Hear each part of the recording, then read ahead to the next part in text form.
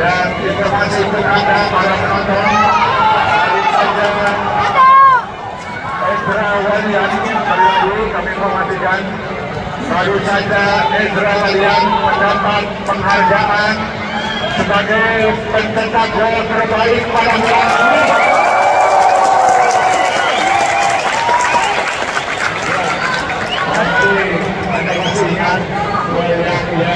casas modernas.